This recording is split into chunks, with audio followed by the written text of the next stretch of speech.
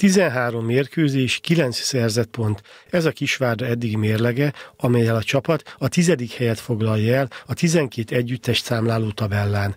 A 9. Puskás Akadémia 5 ponttal többet, a már kieső helyen lévő Diósgyőr pedig 3 ponttal kevesebbre szerzett Dajkalászó együttesénél.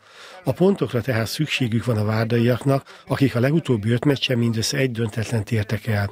A szombati ellenfél Újpest a legutóbbi fordulóban a haladást verte 2 0 míg a Kisvárda hazai pályán kapott ki 3 0 a Honvédtól.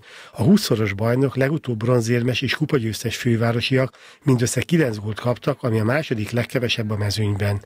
A 12 szerzett gól megegyezik a várdai gólok számával, viszont azok 10 ponttal többet hoztak az Újpest számára.